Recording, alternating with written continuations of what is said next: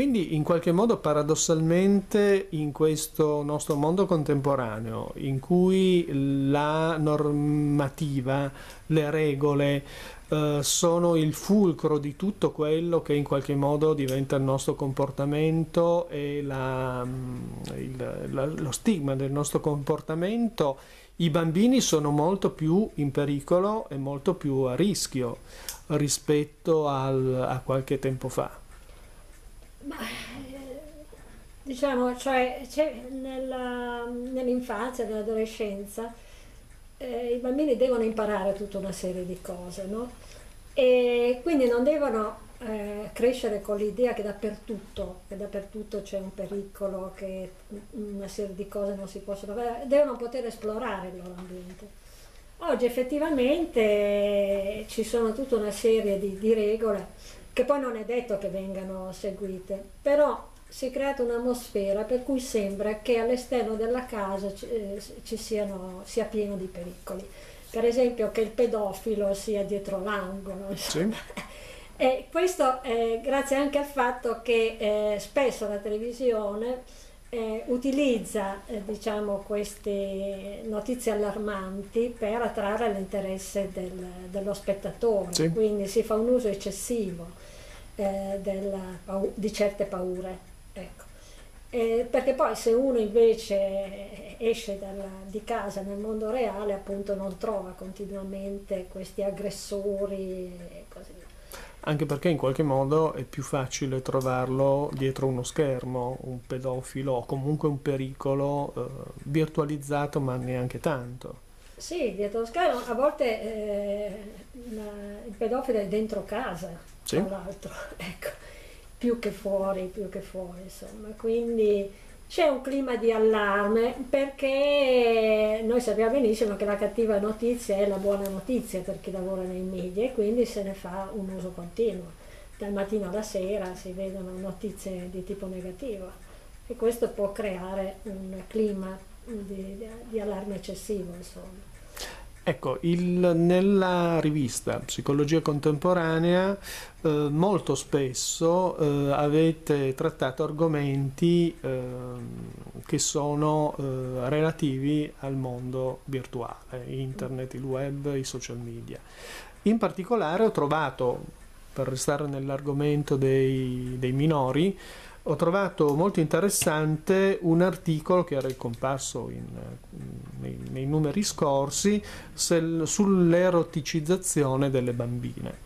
Uh, questo mi ha fatto pensare che um, in qualche modo eh, inconsapevolmente molti adulti eroticizzano i propri figli nel presentarli come ad esempio grandi esperti di iPad, di iPhone, che sono poi strumenti erotici in qualche modo. No? Lei che cosa pensa di questo? Ma guardi, questo fa eh, parte di un clima di accelerazione della crescita c'è una tendenza ad accelerare la crescita, a vedere i bambini come più grandi e più maturi di quello che sono siccome vengono a contatto con queste tecnologie, siccome imparano presto ad usarle, allora gli si attribuisce una maggiore competenza, una maggiore intelligenza e anche una maggiore maturità. E qui eh, si fa una grande confusione perché sapere usare una tecnologia non significa essere maturi. Sì. Cioè è una cosa è usarla, una cosa è poi quello che si trova no? all'interno di internet o nel mondo reale. Insomma.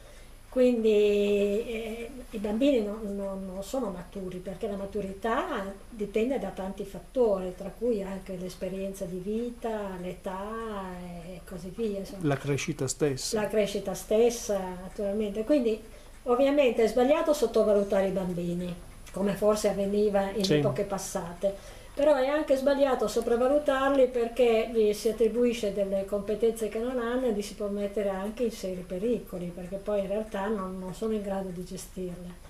Ecco, quindi fa parte un po' tutto di una, mm, diciamo, di una visione sbagliata dell'infanzia e anche di una proiezione di sé sui sì. propri figli. Ecco, per cui molti genitori non riescono a fare una distinzione tra sé e i figli ma proiettano i propri desideri, le proprie attese sul, sul figlio.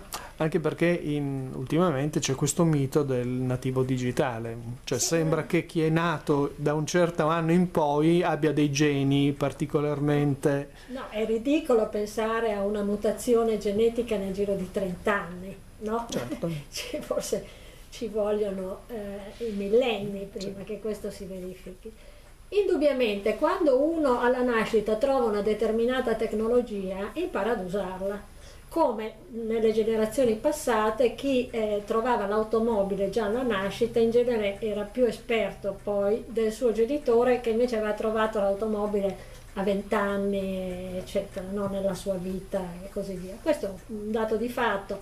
Però appunto saper usare lo strumento è una cosa poi riuscire a gestire questo strumento che poi sì. è molto complesso, perché internet è molto complesso, puoi trovare di tutto, va bene? Lì richiede una maturità. Quando io apro un sito porno per caso, per esempio eh, digito Topolino o Biancaneve e Sette Nani e ci trovo la pornografia no? e ho 7-8 anni, io posso averne un, un trauma. Eh, naturalmente, perché non sono in grado di gestire quel tipo di realtà.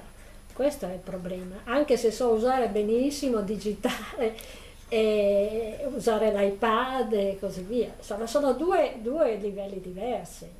Quindi confondere diciamo, la capacità di, la, di, sapere poi gestire una serie di notizie, anche di sapere capire, eh, saper distinguere quelle vere da quelle false, perché alcune sono false oppure sono soltanto verosimili sì. magari, sono verosimili ma non sono vere. Ecco, questo richiede una formazione eh, che, che, ovviamente un bambino non può ancora avere. A me è capitato di aver trovato cose sbagliate andando su internet, no?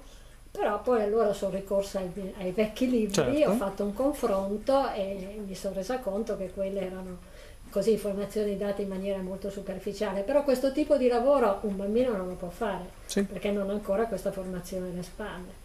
Ecco, quindi cosa c'entra? Uno, certamente i bambini sanno usare l'iPad meglio di me magari, no? E non mi stupisco, lo considero una cosa normalissima, però io eh, so orientarmi molto meglio sulle notizie che trovo attraverso l'iPad. Sì, certo. E questa, mm, questa evoluzione uh, de, del, del, sapere in qualche modo uh, nell'utilizzo del mezzo da parte dei minori uh, mi sembra che, che rientri un po' in una tempesta perfetta rispetto a quello che diceva, nel senso che i minori sanno, sono più eh, portati, velocizzati a usare i nuovi mezzi. I genitori a loro volta non sono esperti nel condurre eh, una formazione mh, giusta nell'utilizzo cognitivo di questi mezzi, per cui si crea una, appunto una tempesta perfetta che porta molti, molti lati negativi. Infatti quello eh, che si consiglia ai genitori oggi è di avvicinarsi a queste tecnologie e cercare di conoscerle, cercare di conoscerle per averle sotto controllo, altrimenti sfuggono di mano e i ragazzini tra di loro eh, vanno da qualsiasi parte e possono eh, incorrere in pericoli insomma più o meno, più o meno gravi, alcuni sono anche molto gravi. Eh, ma perché si trova di tutto, si trovano anche i siti del gioco d'azzardo, sì, si trovano certo. siti che esaltano la violenza, sì. siti che esaltano l'anoressia, per esempio, si trova qualsiasi, sì. diciamo, qualsiasi cosa. Sessismo, eh, in, razzismo. In positivo, sicuramente anche in positivo molto, però anche molto in, in negativo, no? E quindi, ma ci sono anche dei siti che insegnano a suicidarsi. Sì. Eh, quindi io quindi eh, un genitore sa, eh, è contento che il proprio figlio vada a esplorare siti del genere, pensa che un bambino di 8-11 anni possa avere la maturità, magari anche a 14 anni.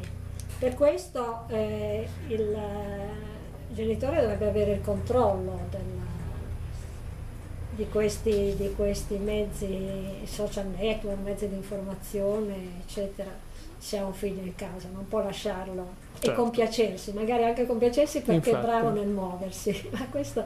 Quindi dovrebbe essere un uso meno emozionale da parte dei genitori, insomma, degli adulti, più consapevole, più esatto. formato e formativo. Sì. Qui i genitori si devono formare assolutamente oppure eh, non tenere in casa questi mezzi, però poi cosa succede? Che il loro figlio va dal compagno.